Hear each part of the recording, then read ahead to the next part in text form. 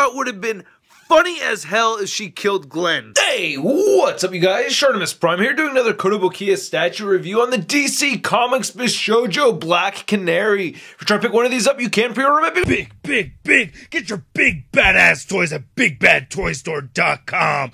Click the link in the description below. Thank you to Kotobukiya for making this review possible. If you want to see the latest from them, check the links below. Pretty standard Bishoujo packaging over here. You can see the statue right inside through this window box. Nice image right over there. The side, we get the similar image on the side. Then over here, there's a long read up. If you want to read it, pause it now. Coming soon, Raven. Nice statue. I cannot wait to open it. So let's get to it and crack this thing open.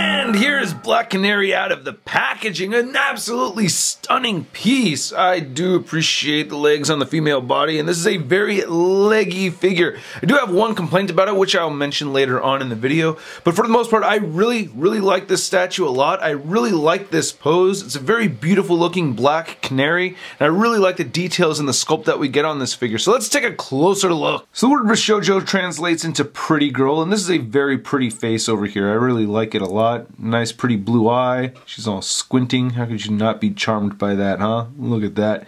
And very nice metallic look for the lipstick. Or it's not so much metallic, but glossy pink paint right there for the lips. I think that looks really good. I really like the wink. The hair is sculpted out very nicely. I really like it. Now, when I was first looking at this, I was thinking, oh, there's no paint detailing or anything like that in the hair. But it does have a very nice pearlescent texture to it, and it just glimmers nicely. So for me, that makes up for it. I really like having that kind of detail in there. Uh, if the hair doesn't have paint detail in it, at least if you make it, you know, pearlized, shiny, or some way or another, I think it looks cool. Then looking right over here, you get these nice little pieces of hair just swooshing all over the place. Looks really nice. I really like this sculpt a lot. Looks really good. Coming around through the front right here once again. And I really like the details in her jacket. She has this leather jacket on, and we get a lot of nice sculpted wrinkles right there. Really like the flesh tone. The hand and the glove look really nice. That's pretty good. Looking right on the back, you can see how it's kind of swooshing upwards. So she has this really cool biker jacket. Nice silver paint right here. Nice seams sculpted throughout really nice. And then I really like how the gravity came out. And what I mean by gravity is just because that right arm is moving upwards, so it's going to take the breasts in a new direction right over here. And I think they did a really good job with that. And there's also some really nice paint detail right here on top of the nice sculpt. You know, you get some nice paint right there going right down the center of the rib cage, and the breasts are textured nicely with the paint as well. So it looks really nice. Very nice cleavage. I really dig the wrinkles right here in her onesie. And that looks really cool. She has a unitard kind of thing going on. It reminds me of a bathing suit a little bit. Really nice wrinkles in there. And I really love that we get the actual meshy fishnet right over here. Kind of like how we've gotten on the Zatanna. Now my one complaint with this figure is that I feel like the back end could have been a little bit bigger over here. I don't know. That's just my personal preference though. I'm very impressed with the amount of paint detail that we get underneath the fishnets though. It's really hard to see, but there is some nice added shadowing effect right there with the paint underneath the fishnet, which I think is an extra step they didn't really have to do because it's kind of hard to see. So they could have just gotten away without doing it, but they did add the nice paint detail, and it really does make the legs pop even more so. So very, very nice details on that. I really like it a lot. The boots look really good. The high heels right over here. Very nice looking figure. And then looking at her base, which she is attached to, and it's very good that it's not removable because due to this pose, she is leaning forward a bit. You can see how much she's leaning forward like that. So I'd rather this not be removable.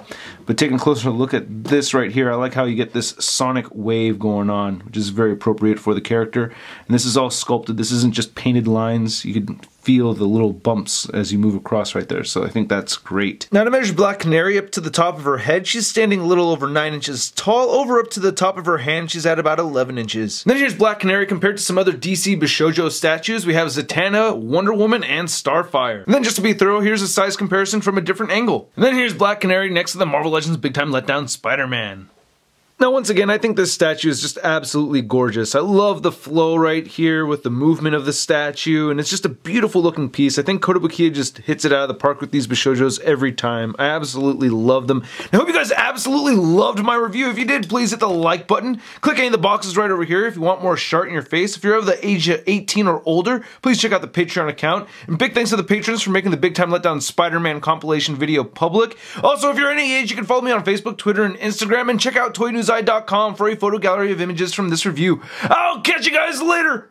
Peace. Posing action figures, posing action figures, posing action figures every day. I'm posing action figures, I'm posing action figures, I'm posing action figures. That's crispy. And then to compare.